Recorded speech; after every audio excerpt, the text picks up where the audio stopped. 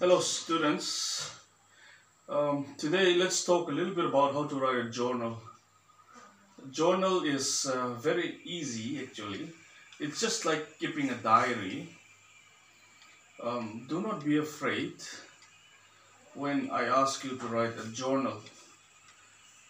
You know, writing a journal helps you to remember what the Bible passage is saying. And it also helps you to recollect where something you have learned is from and what verses or you know like the chapter speaks about what or which. By writing a journal it also helps you to make use of the bible that you have written for your own everyday you uh, lives. You know writing a journal is uh, not to be taken very seriously in a sense. It's not like an academic paper where you need to cite sources, where you need to, uh, you know, look at others' um, commentaries. Of course, if you are stuck with certain words, you need to look, look, look up commentaries or dictionaries for you to be able to understand what the verse is saying. But journal is more like a meditation, a contemplation of what the verse is saying. If you understand what the verse is saying uh, in English, you know, you read it and, and, and try to meditate on that verse till you understand what the verse is trying to say. And once you have done that, then you must think of how it can be applied to your lives, to your spiritual lives, and also to the broader impact, you know, like the wider impact. How can I use this verse uh, to encourage other people. You might think about that.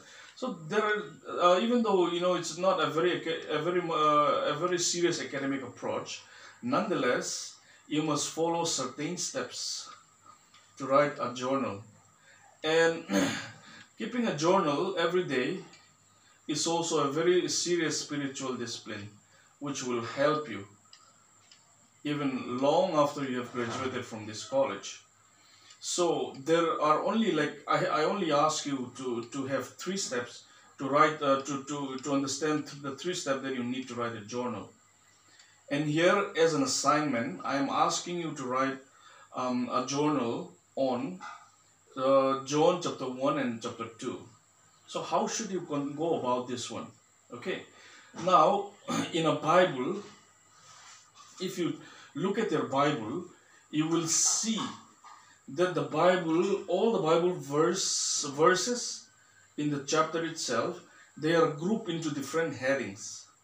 Okay, so for example, in for John chapter one, verse one, you have uh, till chapter fifty. I mean verses fifty-one, and in First John, you have one, two, three, four, five, five headings, five small uh, subheadings so often in writing a journal, it helps, you know, if you you can do you can do you, you can follow certain uh, any way you like but i would suggest you that you you pick those subheadings. Those subheadings because usually they uh, these subheadings are separated in such a way that they contain an idea or thoughts. You can do the whole chapter one at one go or in one time you can do the whole chapter but that will make it a bit difficult because there are certain thoughts there. And so you will need to write paragraph uh, to separate those thoughts. Rather you write a journal which is your own contemplation or meditation of the bible verse. You take uh, chapter john chapter 1 and from verse 1 from verse 1 till uh, verse 18 the topic is the word become flesh the word became flesh. So you write number one, uh, John chapter 1, verse 1 to 18, the word became flesh. And then you try to meditate on this, you try to meditate on this topic.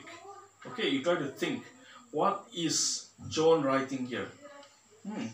And then after you get it, you, you, after you think you have mastered or at least know about all this kind of, uh, all the verses, explanation, you paraphrase it Paraphrase, when we say paraphrase, it is not a direct citation or copy of the verse.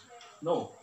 But you write in your own words what these verses are saying, the information that you get from this passage. Okay, so for let's take for an example, uh, John chapter 1, verse 19 to 28. This is another subheading. Here we have John the Baptist denies being the Messiah. So you read carefully from chapter uh, verse 19. Now this was John's testimony when the Jewish leaders in Jerusalem sent priests and Levites to ask him who he was. And then he went on. And then in chapter uh, verse 28 you will find this all happened at Bethany on the other side of Jordan where John was baptizing. So as you read this, as you read this heading, contemplate on reading verse 19, 20, 21, 22, 23, 24, 25, 26, 27, and 28. Uh, read carefully again and again, and then you, you think what this passage is talking about. And once you have once you have realized what this passage is talking about, then number two, John chapter 1 verses from 19 to 28. Jesus the Baptist denies being the Messiah. Hmm. And then you can write in your journal. This passage is talking about how John the Baptist, who was the cousin of Jesus, denying uh, that he was the Messiah when other people asked him. So it seems there were lots of people who asked him who he was. They thought that he was the coming Messiah. And then John said, No, I'm not the Messiah. Okay, you're not quoting the verse anymore. No direct quotation. But you're just explaining or paraphrasing or writing in your own word what is what he's saying. And then you know you can even say John compares himself uh, when when he, when people started to realize uh, when people started to compare John with Jesus. Then John is saying, No, no, you should not compare me. You know, I am nothing uh, compared to him. I just baptize you with water, but he will baptize you with Holy, the Holy Spirit. I am so unfit that I am not even, uh, you know, worthy to untie his shoes. Huh. Here, the Bible, the, the, the Bible simply says sandals. You know, like I'm, I'm, I'm, I'm not eligible, uh, or let's say, uh, the straps of whose sandals I'm not worthy to untie. Twenty-seven. But you don't need to write all those. Uh, you can simply say, I am not fit to untie his shoes. That's a paraphrasing. Okay, you're not repeating the exact words, but you're repeating the thoughts in your own words. So that is what I say paraphrase. So you should not write it a long paraphrase. Just maybe a paragraph with lines like 12 lines, 13 lines, till you finish the thoughts or till it satisfies you. Okay. Then after that, after the paraphrasing, you have the application. Oh no, oh yeah, what it means to you. If you cannot find application, then that means your reading of the Bible doesn't make sense to you, or you don't need it. Okay, but we all uh, it, you have you need to have something like there has to be a, a purpose for your reading, a benefit for your reading.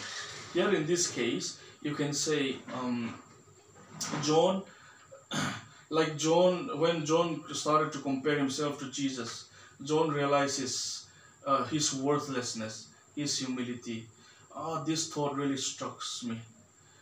Who am I to Jesus? What am I to, compared to His, you know, glorious uh, salvation? Whenever we are, we compare ourselves to Jesus, we saw how small we are. Okay, so in the kind of things, it, the application is always there. Hmm. And and just think, even John the Baptist was so popular with other people, even the Pharisees, the Levites, they all come to him for baptism. But he is saying, even though he is very high, popular. But when he is comparing himself to Jesus, you realize, you know, his lowliness. Okay, so that what it applies to me should be the one. And then you have a, after you find the application to yourself, often you know you you, you need to you, you will find something to say to other people, like your friends or your classmates or, or your families. Like when you have a devotion and you're starting you started to realize, hmm, you know, just like we see John the Baptist uh, lowering himself when he compared to Jesus, we should also be humble when we see Jesus. Okay? so an tak taluno journal ei ti chun ei ei ni bible changai tima kha bible changai tim kha ei eh, ei ei on word in ei ngai tu nai shi na ei ei shi na ngai khan i, a um dan kha ei zik khani a direct word hai gai copy no ei copy no ding journal ei zik chun. Hila hin, i ma shila, dan rani chapter khata hin eh, topic tam, topic kan che to la kha topic in che hai ka point pakhat pe in nei on la. ka su ma khan hi chang in i ma rila ti kha in inang i onward in ji klang in ta. In ji klag zo khan hi chang i kata ding in i ma tang kai na lia ti kha shi shi ji no bokin ta. Line tam ji ka ngai na pani patum ahun.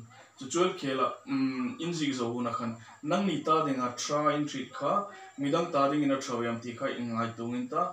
Chu chu zo midang ta denga tra in treat ven chun chu.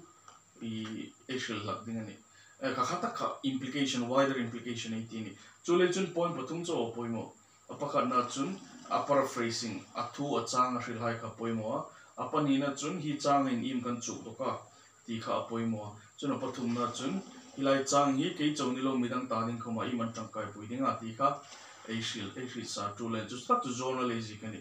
i hinga va tho ther tur citation zon commentary dictionary zon tinan no apatin tu ka in textbook ani tapa.